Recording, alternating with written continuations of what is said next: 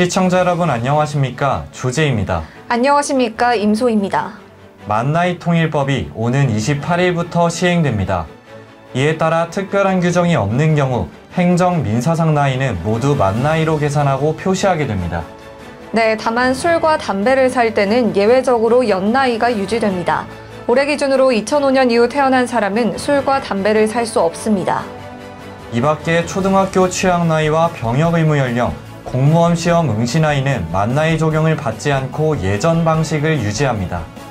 이 시각 주요 뉴스입니다. 한미일 정상이 8월 말 미국 워싱턴 DC에서 회담을 가질 것이라는 전망이 제기됐습니다. 다만 백악관과 대통령실에 따르면 정확한 시기는 아직 조율 중인 것으로 확인됐습니다. 박지원 전 더불어민주당 비상대책위원장이 민주당을 향해 고 박원순 전 서울시장의 3주기를 앞두고 박 전 시장의 성폭력 사실을 미화하는 다큐멘터리가 공개된다는 소식이 있었으나 그 누구도 비판하지 않는다며 쓴소리를 뱉었습니다. 박 전 비대위원장은 민주당은 지자체장들의 권력형 성범죄로 이미 국민들에게 많은 신뢰를 잃었지만 여전히 권력형 성범죄를 끊어내지 못했다며 우리 당의 뼈아픈 과오를 반성하고 대안을 찾아야 한다고 촉구했습니다. 지난달 전국의 아파트, 빌라, 단독주택 등 주거시설 임대에서 월세 비중이 60%에 육박 하며 역대 최대를 기록했습니다. 최근 전세값이 다시 오르고 하반기에 역전세난이 더 커질 것으로 우려되면서 월세 수요가 다시 증가한 것으로 보입니다.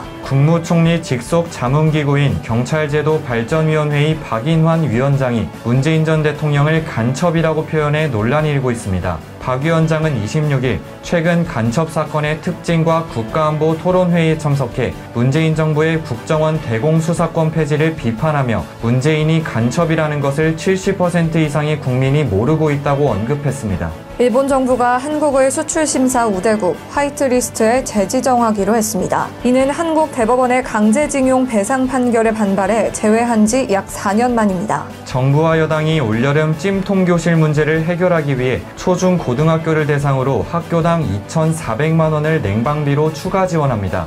국민의힘 박대출 정책위의장은 오늘 오전 서울 윤중초등학교에서 정부 관계자들과 당정협의회를 진행한 뒤 현재 편성된 학교당 냉방비 지원금 2,400만 원을 추가 교부해 지원을 7,650만 원으로 확대하겠다고 밝혔습니다. 짝퉁으로 비판받던 1592년 거북선이 결국 불태워져 사라지게 됐습니다. 경남 거제시는 1592년 거북선을 폐기하기로 결정하고 경매에서 거북선을 낙찰받은 신 씨에게 오늘 계약 해지 통보서를 발송했다고 밝혔습니다. 국가기술 자격 시험 답안지를 채점도 하지 않은 상태에서 파쇄해 논란을 빚은 한국산업인력공단이 피해 수험생들에게 10만 원씩 보상하기로 했습니다.